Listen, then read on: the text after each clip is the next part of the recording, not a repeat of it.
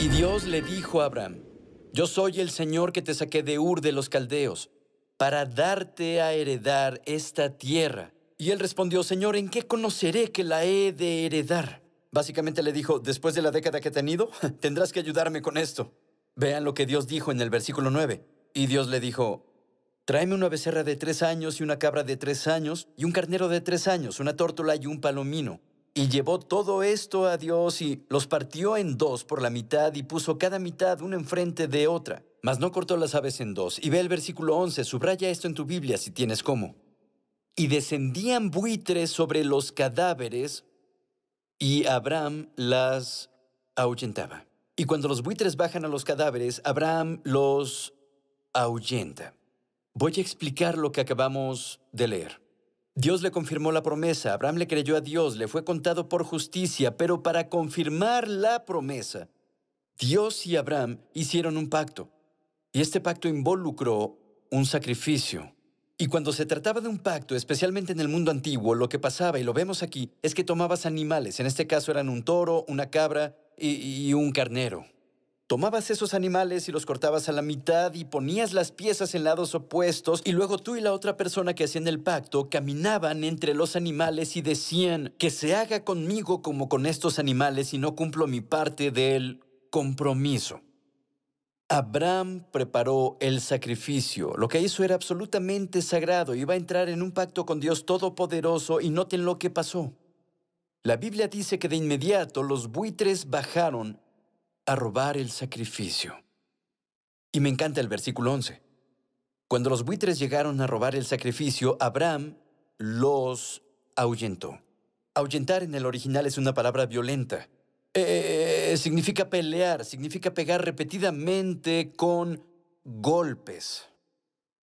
Abraham peleó contra esos buitres. Prometo que hay un punto aquí.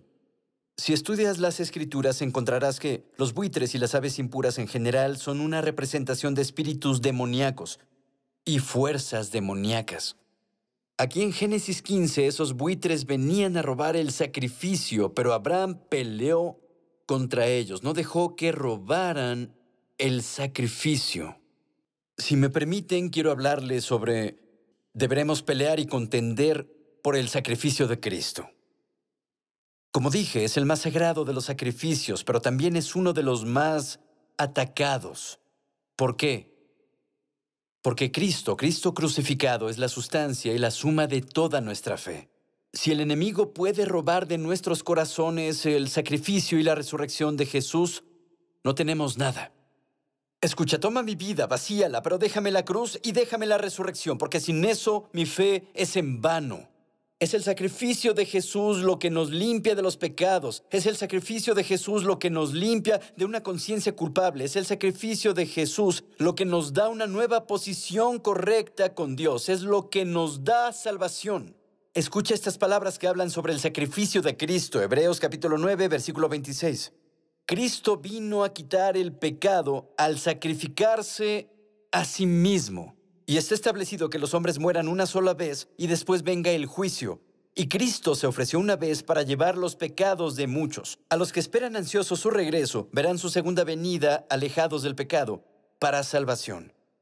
Escucha, debes ver esto. Tienes que capturar por qué el sacrificio de Cristo es tan importante. Es nuestro todo y si nos lo quitan, no tenemos un pacto con Dios, no tenemos esperanza eterna y estamos muertos en nuestros pecados. Si el enemigo puede robar de nuestros corazones el sacrificio de Cristo, se lleva todo. Y más vale que crean que lo intentará. Y para intentarlo y robar el sacrificio de Cristo, va a enviar a los buitres de la persecución. Como creyentes debemos estar listos para pelear. Escucha, seguir a Jesús no te aísla del problema. No significa que haya una vida perfecta, fácil y sin pecado ante nosotros. No es así, al contrario, seguir a Jesús significa que lo opuesto es verdad. Significa que encontraré persecución por mi fe. ¿Cómo puedo defenderme del buitre de la persecución? Necesitas poder, pero no poder terrenal, no un poder que puede derivarse de la fuerza humana. Necesitas un poder que solo puede ser provisto por el Espíritu Santo.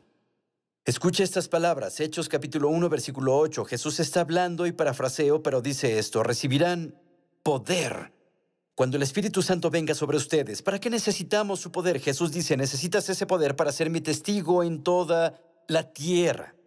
Piensen en las personas a quienes hablaba Jesús, les habla a sus discípulos. Y él dijo, oigan, necesitan poder, necesitan esperar al Espíritu Santo porque no pueden ser ni hacer todo lo que les he llamado a hacer y lo que les he llamado a hacer sin el poder y sin la unción del Espíritu Santo. Los he llamado a ser mis testigos, un testigo del Evangelio, un testigo del sacrificio de Cristo en la tierra y porque son testigos van a soportar persecución. Y si van a defenderse del buitre de la persecución, es mejor que tengan al poder de su lado. En medio de la oscuridad se necesita el poder del Espíritu Santo para brillar, para ser luz, para ser testigo. Déjenme hacerles una pregunta honesta. ¿Cómo está tu luz? ¿Cómo está tu conexión con el Espíritu Santo? Porque si vas a contender por la fe, si vas a luchar, si vas a resistir en medio de la oscuridad, si vas a mostrarle al mundo una forma diferente, si le mostrarás al mundo una forma mejor, más te vale estar ungido por el Espíritu Santo. Y escúchame, la unción no es solo para pastores y predicadores. La unción es para todos los creyentes, pero aquí está la cosa. La unción del Espíritu Santo solo se encuentra, se mantiene y se fortalece en un lugar, en el lugar de oración. Y necesitas la unción. No serás un padre efectivo sin la unción del Espíritu Santo.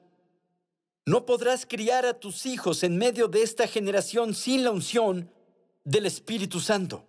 No podrás ser un cónyuge efectivo sin la unción del Espíritu Santo. No podrás ser efectivo como empresario o empleado sin la unción del Espíritu Santo. Joven, no podrás ser un estudiante efectivo en tu campus sin la unción del Espíritu Santo. Es la unción la que te marca, es la unción la que te separa del resto. Pero solo se encuentra en un lugar, es en el lugar de oración. ¿Cuándo fue la última vez que apagaste el mundo, que apagaste tu teléfono, apagaste la tableta, apagaste la televisión y te hincaste para estar solo con Dios y comenzar a clamar y decir, Espíritu Santo, Espíritu Santo, úngeme para la tarea que viene. Espíritu Santo, úngeme de nuevo hoy porque quiero ser testigo del nombre de Jesús. Escucha, amigo, necesitas la unción. Necesitas el poder que el Espíritu Santo provee. Si no, vas a ser molestado por el buitre de la persecución. ¿Cómo está tu vida de oración? ¿Cómo está tu conexión con el Espíritu Santo?